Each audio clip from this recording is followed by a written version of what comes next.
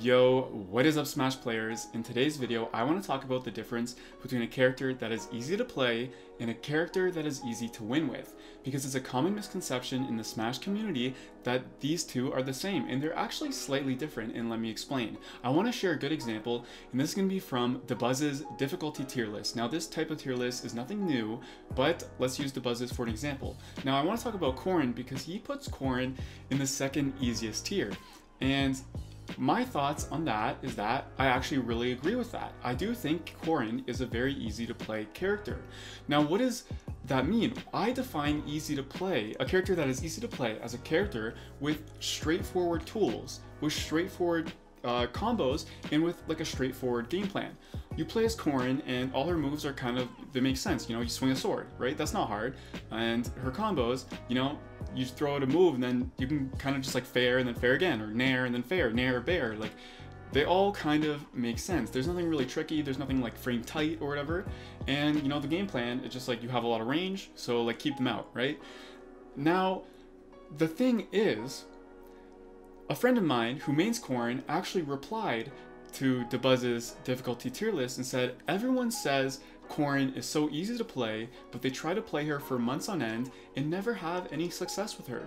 And you know what? I actually really agree with that reply. Now you might think that if I agree with both, that they're in disagreement, but they're actually not in disagreement because Corrin is very easy to play. However, Corrin is very hard to win with. Because even though her tools are easy to use, they're straightforward, her game plan isn't the most complex, there's nothing crazy frame tight if you're just trying to play her, you know, competently. However, she doesn't have the best aerial mobility. Her disadvantage is pretty bad. To abuse your advantage fully, you need to be precise and accurate with where you're putting your hitboxes. You need to know how to use her grab because her grab range is really small. You need to know how to move because, again, her mobility is really slow. There's a lot of things about Corrin that make it difficult to win with, and she doesn't have any extreme cheese or extremely strong kill options that are really easy to hit. That is the main difference between a character that is easy to play and a character that is easy to win with. If you're trying to play a character that is easy to win with, it doesn't necessarily mean they're easy to play. However, once you learn how to play them, they can be very easy to win with. My favorite example is Mega Man, because it is very easy to get high GSP as Mega Man once you know how to play him. And very often, you can tell a character is easy to win with when you see players who might not be so great have really high GSP. Bowser is a very good example. Maybe even King Dedede. And I'm not saying if you have high GSP as these characters, it doesn't mean you're not good, but it just means sometimes these players might not be good, but because it's so easy to win with, they get high. Now, I, I sometimes just three stock these Mega Mans with high GSP because they really don't know what they're doing.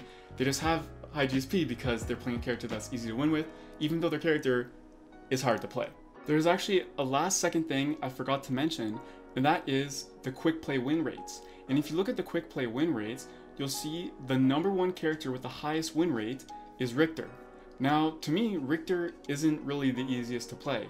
But if you play him just a tiny bit and have a decent understanding, he's not a character you could pick up and play and instantly know like how to use all his moves. He's not like you just swing a sword around like Lucina or you just swing out your fair, bair nair uh, like Yoshi.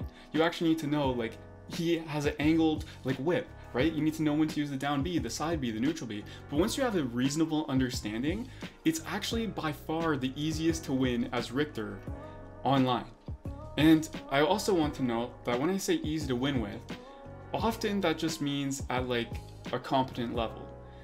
It definitely gets harder to win as these characters the higher you go up. But when we're talking about at a competent level, then easy to win with is going to be better off for winning than easy to play. Easy to play will make you feel like you've learned a character, but you might not be winning. So I hope I made that clear. I don't want to give an example with every character.